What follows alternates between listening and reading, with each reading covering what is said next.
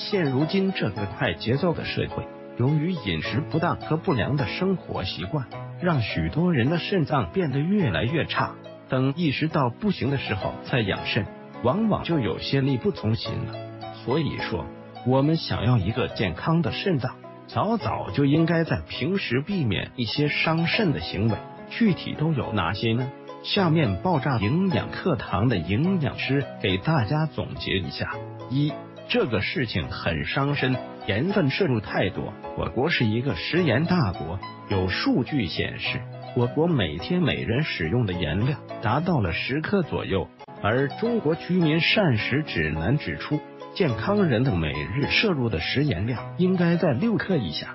长期摄入大量的盐分的话，一方面会使自己的血压升高，增加高血压的危险；另一方面，就是我们这篇重点要说的，会给肾脏带来巨大的负担，这样就会让肾脏不能很好的排除体内的代谢产物，长期下去就会让你的肾脏工厂出现不小的问题。另外，还有一点需要强调的是，盐分摄入的太多，不仅仅是因为炒菜时放的盐太多了。生活的很多人加工食品，比如腊肉、薯片、饼干等等，当中都含有不少的盐分，所以大家在控盐的时候也要考虑到它们。而这个事情很伤身，经常性的憋尿，由于经常性的憋尿导致肾脏生病的情况，在白领中很常见。因为繁忙的工作或者不停的开会，往往几个小时都不去上一次厕所。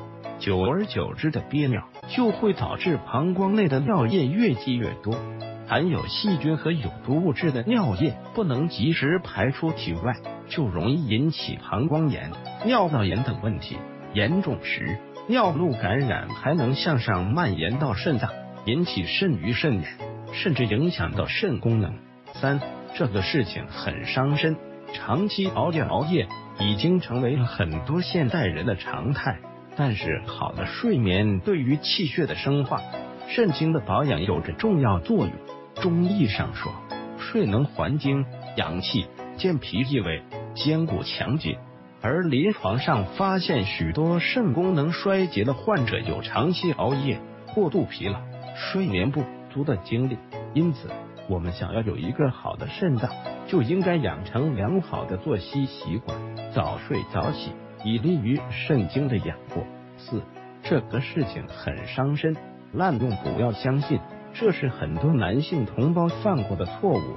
当男性同胞发现自己性功能不行的时候，为了享受，为了尊严，可能会在商店里买些能一次性强化肾的药物。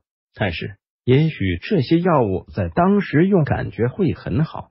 但是药效过了以后，就会给肾脏造成严重的伤害。如果想要加强性功能，建议还是多做运动，锻炼身体，保持好的心情，比服用药物好多了。五，这个事情很伤身，过量抽烟。现在仍然有许多人爱抽烟，甚至有些上瘾的，一天要抽二到三包。殊不知，在吸烟过程中，随着香烟的燃烧。肾毒性物质已经被悄悄吸入体内，然后就会去杀死肾细胞的。